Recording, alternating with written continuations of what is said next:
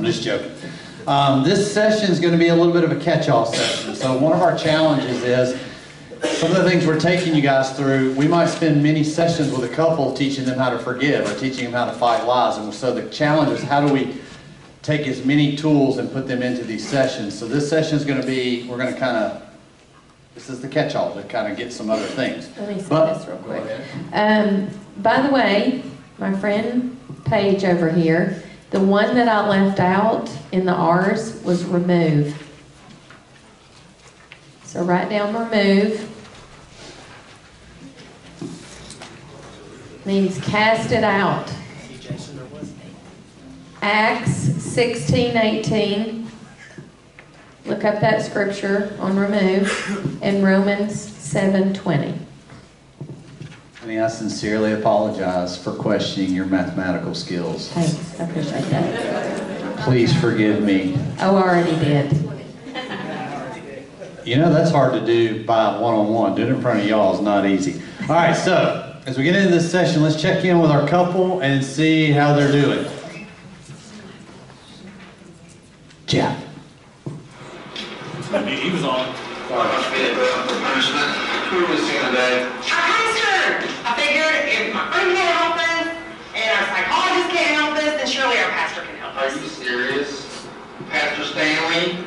You have to promise you don't throw me under the bus. We haven't seen him every I Sunday. promise I'm not gonna throw you in the bus this time. That's what you said last time.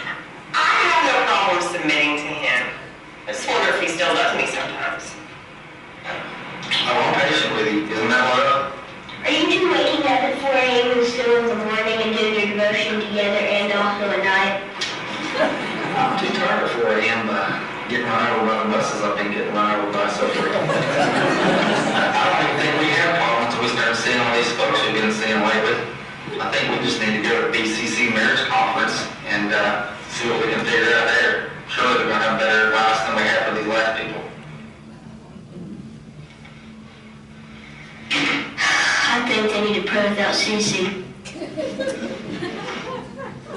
That couple was terrible. Praise Jesus and for them to take communion every day, and I think they'd be fine. Those are my parents.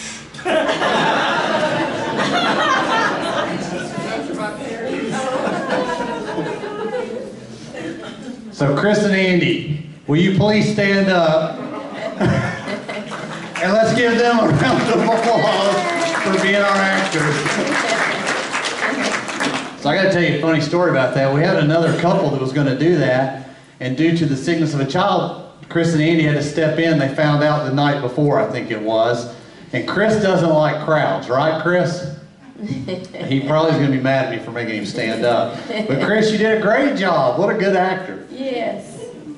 All right, so the first thing we're going to talk about this morning is personalities.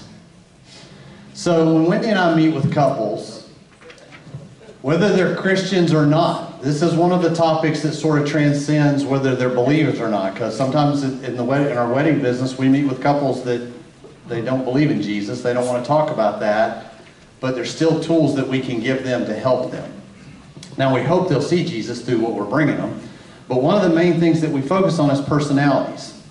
Um, I've had couples, uh, you know, these aren't like hard and stone statistics, but I've had couples tell me, man, if I would have known this, it probably would, would solve about 80% of my arguments that we had.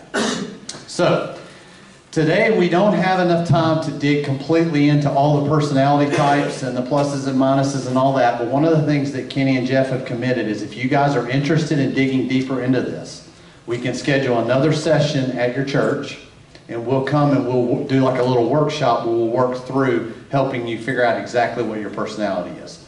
Uh, one of the things I want to challenge you with is I, as I talk through the examples today, don't start overanalyzing which one you think you are. Okay? You might see some of these things in your spouse, but we really need to sit down and do this test together if you want to dig deeper into this.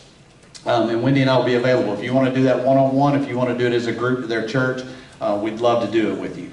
So, God has given each of you a personality. Here's the curveball He's actually giving you two.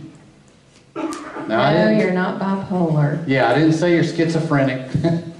I didn't say you have multiple personalities. But the reality is, most of us have two personalities a dominant and then a sub. And then some of us are really weird like me and have three. So she, she's doomed. she's got to keep up with three different people. Rarely do we run across couples that have the same personalities that match. The problem is, a lot of times, let's be honest, I think my spouse should think like I do. And my spouse should be motivated by the things I'm motivated by. And my spouse should process data like I process it. But the reality is, she probably has a different personality that does all those things differently. And maybe our problem is I'm frustrated with her and critical of her because she doesn't think the way I do. Okay? And that's just with one personality. Now bring in the second one. There's a potential that in your marriage you could represent all four personalities. This may sound overwhelming, but if you can start to get your arms around it, it's very powerful to start thinking the way they would think.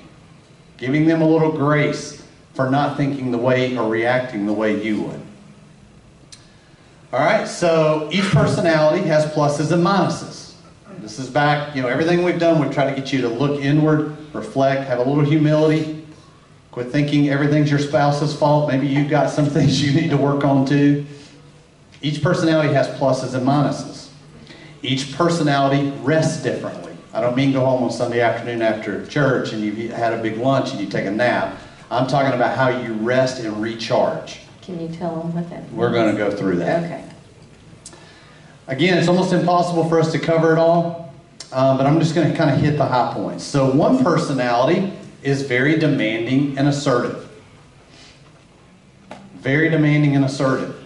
That personality gets things done. That's the positive. That personality, you, you know, last night we were trying to figure out a place to go get some dessert after we left here, and nobody can make a decision.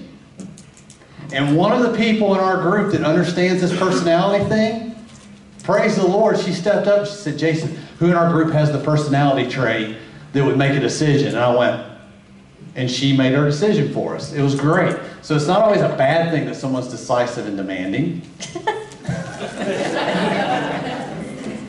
That's not how I look at myself, but okay. What's the downside of that personality? The downside of that personality is they can run over people unintentionally. Sometimes they worry too much about what needs to be done instead of taking care of the people that are there. And sometimes they'll accidentally run over people.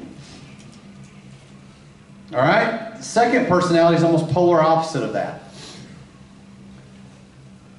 The positive is that second personality is life of the party. Very comfortable being in crowds, loves people, can become the center of attention in any crowd. That's positive because we need those. We need people to step up and break the awkwardness in big crowds and things like that. What's the downside of that personality? They can rarely get anything done. that first personality says, I got something to get done, and I don't really care who I'm doing it with, and I'll run over you to get it done. The second one's like, I don't really care if there's anything to be done. I'll get fired if I get to hang out with people. They're polar opposites. But they both have positives they can bring to the situation, they both have negatives they can bring. All right? The third one is a very servant based personality. This person likes to be behind the scenes. This person's very loyal. This person get things, gets things done. Just tell me what to do and I'll do it. Um, I'm going to pick on Chris, our, our superstar from our video. Chris doesn't like crowds. He's not that second personality. Chris is not demanding and assertive, but that man's a servant. And he'll do anything you ask him to do, even stepping way out of his comfort zone and doing a video. because he's a servant and he just needs to be told what to do and he'll do it.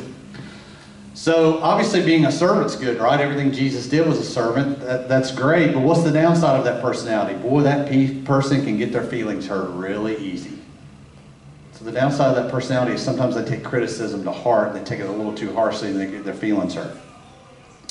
The final personality type is very task oriented. I need a spreadsheet. I need a to-do list. the good news about this personality is they will make sure rules are followed and processes are followed. All the way down to the T. The downside of this personality is they can be a little critical. My friend Ryan. See, we embrace this because we talk about this a lot. And we understand each other's positives and negatives. We joke about the negatives and we embrace the positives and put people in positions where they can thrive in the positives of their personalities. So this is bigger than just your marriage. This can go to your workplace. All these tools are. You can go to your workplace, you can go to your church. Sometimes we put people in positions because they're willing. But we don't take time to understand their personalities, their pluses and their minuses. You put a very demanding and assertive person in children's ministry, that may not be the best fit. You may need the servant. Yeah, you may need the servant-based person. You ask a servant to get up on stage and preach, probably not a good idea because you're taking them out of their comfort zone. And they're, they're not even having to worry about getting their feelings hurt. They're already hurting their own feelings about how bad of a job they're doing. Right? Mm-hmm. Okay. So that's the four major personality types. That's the pluses and minuses of them. But I mentioned rest earlier. So each of them rest differently. So that first personality that's very assertive and demanding, rest by getting things done. Getting things done doesn't sound like rest, does it? But they can't rest until they get things done. Okay? Second personality, life of the party. We got this guy up here that keeps giggling because he is like off the charts on this personality. He recharges, this personality recharges by being around people. He loves it. See? He loves this environment. Be around people. People energize him. That's how he rests. All right, then you go to the servant based personality. That personality rests by being alone. Okay? Just let me have some alone time. Let me get off by myself and have some space. This is probably starting to resonate with a lot of you guys. Oh, yeah, I don't like crowds. I don't mind serving. Yes, I like to be alone sometimes. And my wife doesn't want to be alone. She wants to be out with people. Fourth personality rests by getting a checklist done. I got a yes up here. So I started out the day, I made a checklist. I can't go to bed tonight until I have that checklist done because I will lay there and think about that checklist. Now, I'm not talking about anxiety. I'm not talking about anxiety keeping you from sleeping. I'm talking about where you're laying there and you're like, it doesn't really matter what's on that list. That list can be buy Q-tips at Walmart today. I didn't get it done and I can't rest until I get up and go to Walmart and buy these Q-tips. so each personality, pluses and minuses, each rest differently. Go back to the video. In the video, by the way, this is probably a real example for this couple. One of them said, I just want to go out with friends, and the other one said, I just want to stay home. It's not that the two don't want to do what the other one wants to do, that they don't want to spend time together. It's that you got one personality that's wanting to go hang out with people so they can rest, and you got one that's wanting to stay home so they can rest. So if you start to identify that maybe my spouse and I have a different personality and we rest differently, that's another place you can compromise. Sometimes Chris will have to go out with Andy and be around people and get out of his comfort zone. But sometimes she'll have to stay home with him and let him get rest. He's not saying he doesn't want to be with her, he needs to be completely alone, as much as he's saying, let's stay home and do nothing because being around people wears me out. I know it energizes you, but it wears me out. And she's saying, but being at home wears me out. I need to be around people. So when you know these positives and negatives, you know how to rest. Now you can start to compromise by doing, you know, you got to meet each other halfway on this one. So let's take Wendy and I. You want to know our personalities? You want to know some real stuff about how this applies to our lives? So, Wendy has the first two personalities that we talked about. She's demanding and assertive, and she's life of the party. Guess which one y'all get? Life of the party. Guess which one I get at home? Demanding. I, my primary personality is servant based. My secondary personality is life of the party. So between the two of us, we're covering three of the four personalities, but we actually share one.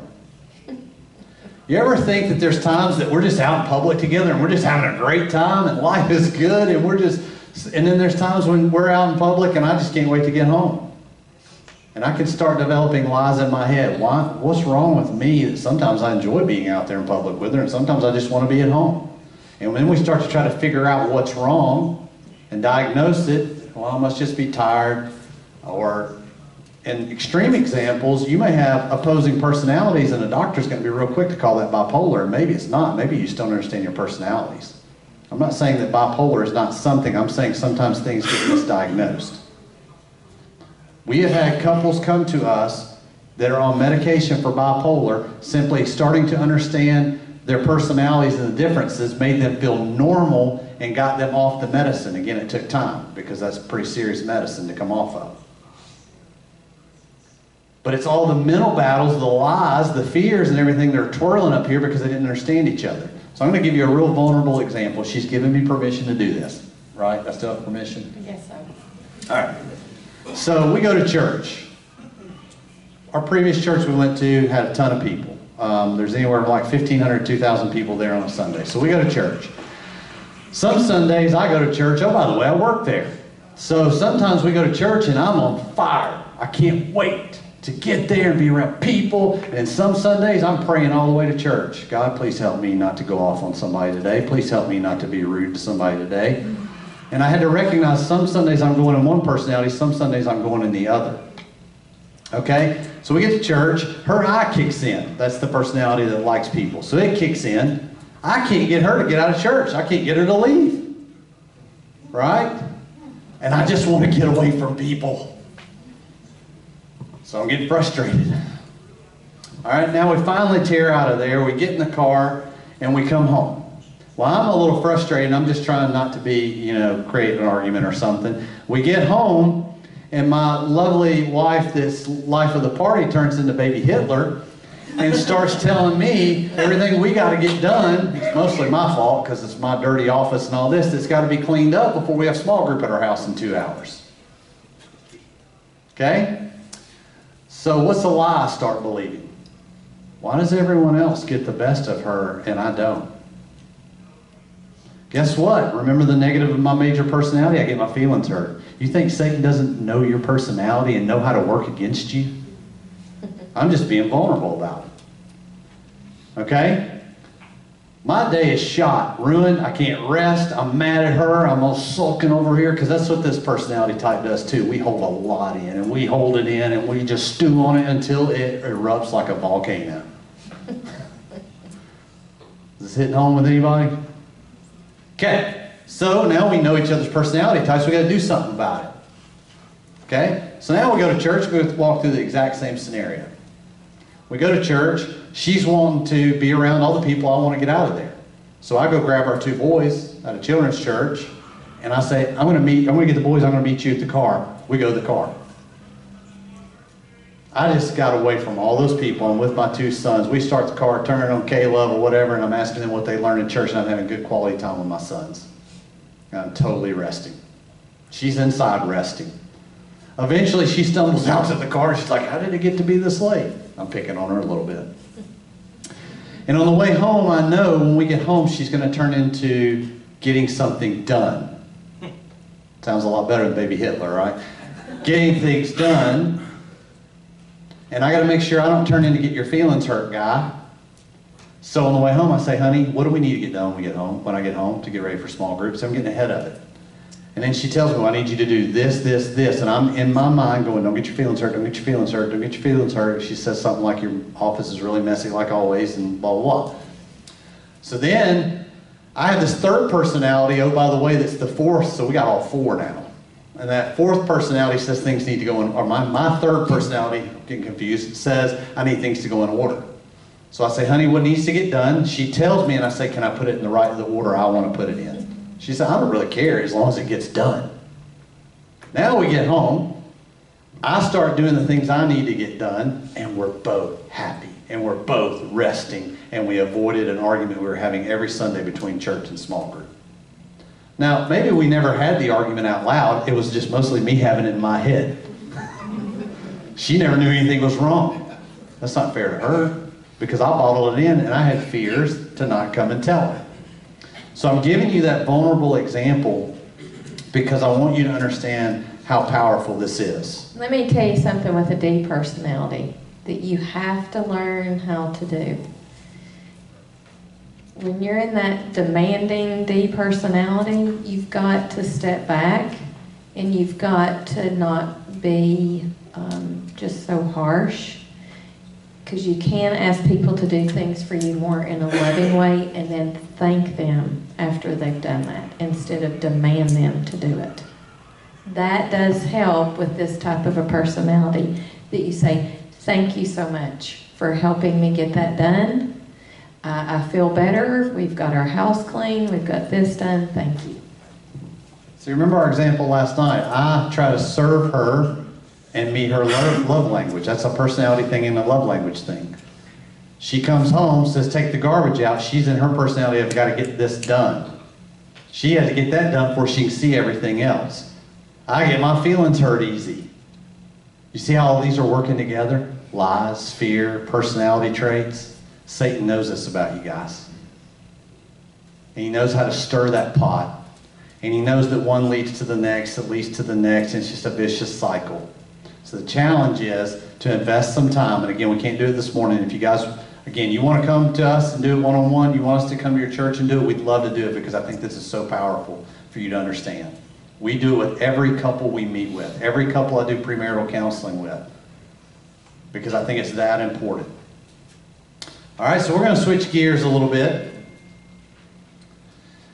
And by the way, when this is over with today, if you've got questions you want to ask, that would be a great time to come talk to us to, if, if we say anything's confusing or you need clarity on or you just have a question.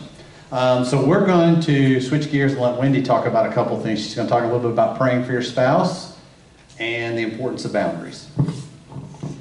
Um, prayer is just good, period, for yourself. Um, I've already kind of talked about that a little bit before, but, um, you know, in Luke 2 36 through